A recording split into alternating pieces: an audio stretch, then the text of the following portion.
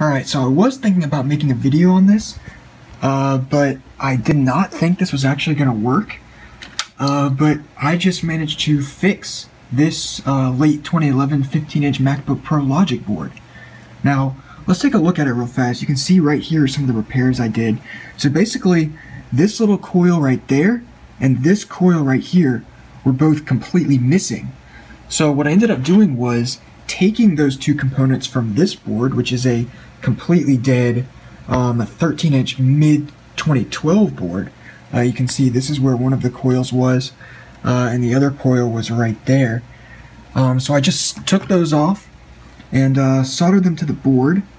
But um, as you can see with this one, uh, one of the pads was ripped off the board, and actually an entire trace uh, was ripped off the board.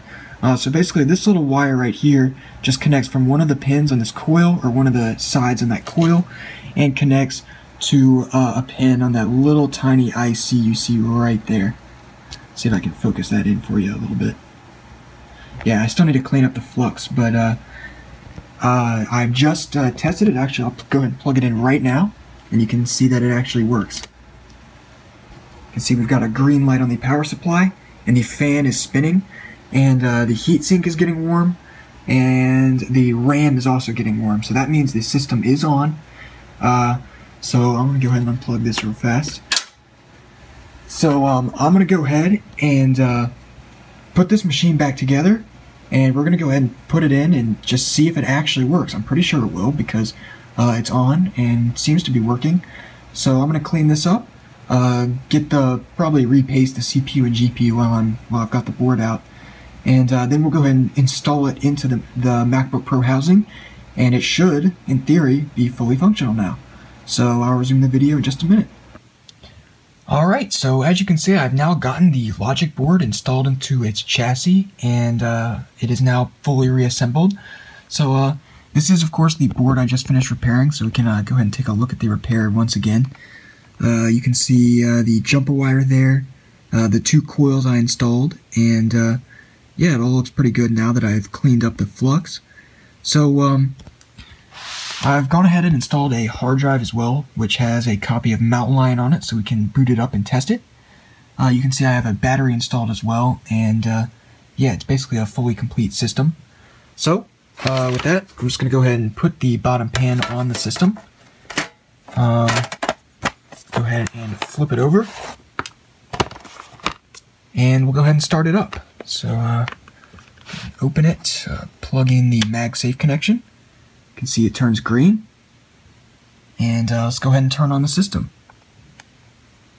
You can see it fires right up. And it is now booting off of that hard disk. So, uh, once this finishes booting, I will go ahead and resume the video. Alright, so as you can see here, the machine has just finished booting. Uh, so let's just go ahead into about this Mac. Set into more info here.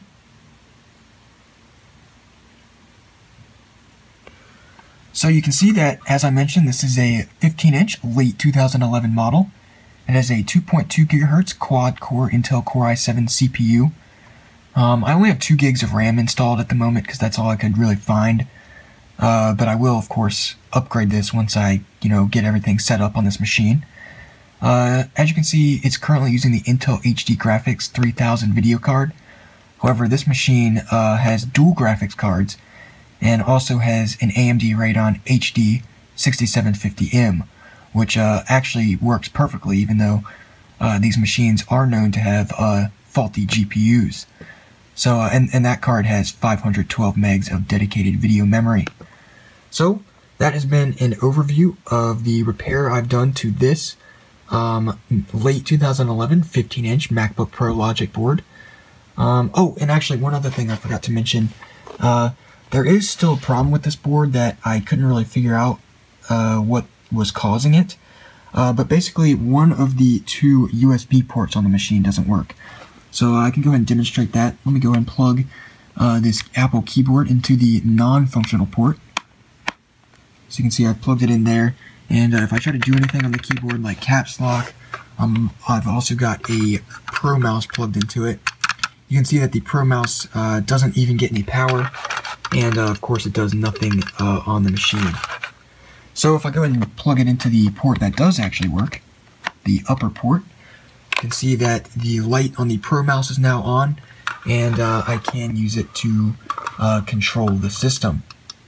So, I mean, for a pretty cheap board, uh, and for a very uh, a repair that I really didn't think was actually going to work, uh, I'd consider this a pretty good score. So uh, that, like I said, this has been the overview of the repair of this uh, late 2011 15-inch MacBook Pro Logic board.